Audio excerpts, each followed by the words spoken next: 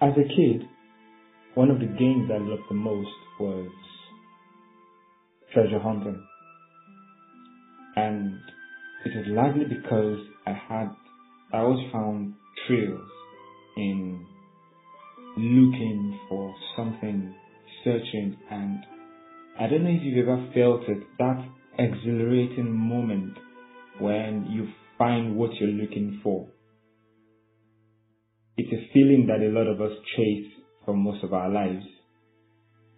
My name is Laolu Ibitoye, and today on Chris 516, I'll be talking about treasures. It's no surprise that one of the holy books says that we have these treasures in earthen vessels.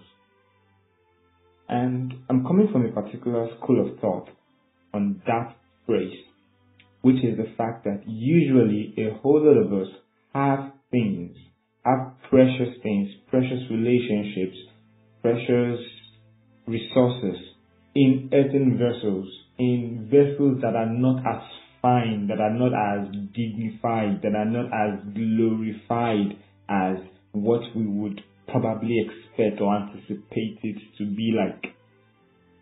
And because of that, we despise, or not just despise, oh, you have to recognize something to despise it. We do not recognize those treasures. We do not recognize those potent resources that we have.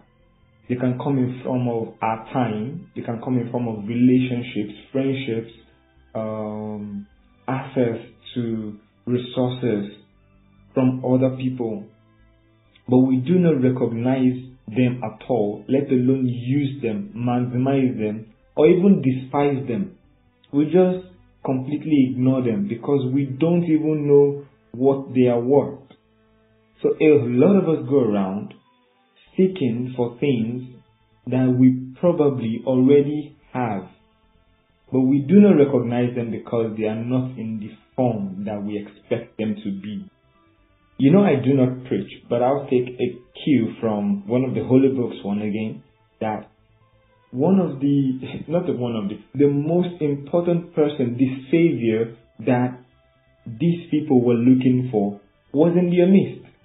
And they could not even recognize that he was the one, despite all he was doing amongst them.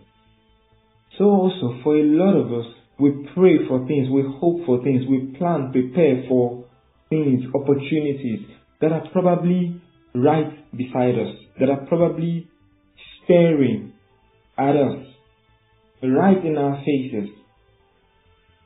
We carry a whole lot, but we do not recognize it.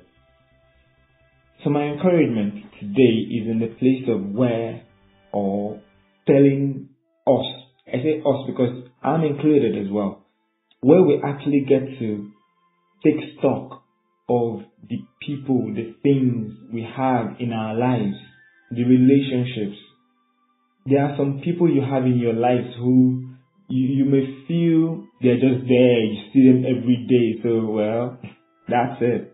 But they may just be the answer to that business opportunity or that idea you've been thinking about.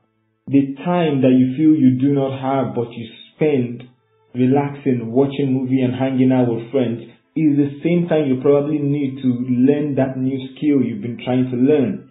The same money that you feel you do not have to start that business or get that equipment that you've not been able to get is the same one you've been using to hang out, flex, chill for a while.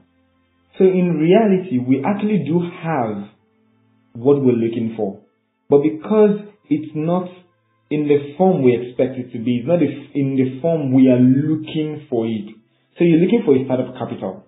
But you've been getting about a thousand or two thousand daily or at least every two weeks, every week like that. And then by the time you cover a month, you've actually gone through 30,000 naira. But because you feel the 30,000 naira didn't come at once at 30,000, so you feel you do not have a capital.